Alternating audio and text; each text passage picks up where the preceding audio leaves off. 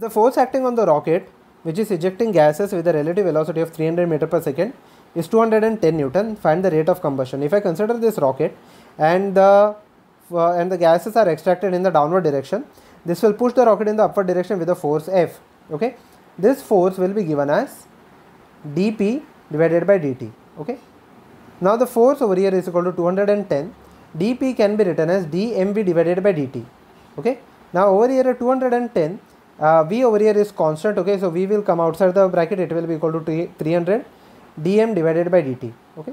So if i calculate the value of dm by dt that is the rate at which the gases are ejected it will come out to be 0.7 okay? Two zeros will get cancelled out and it will be equal to 0.7 kg per second which is option number d. So for 55th question the correct answer is option number d